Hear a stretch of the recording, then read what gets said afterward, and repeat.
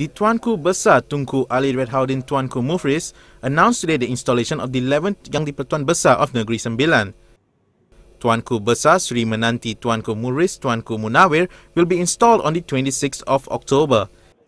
The ceremony will take place at the Istana Sri Menanti Negeri Sembilan. Preparations and celebrations for the ceremony are expected to take place for seven days from the 22nd of October till the 20th of October. Aaron Raj, The Star, Malaysia.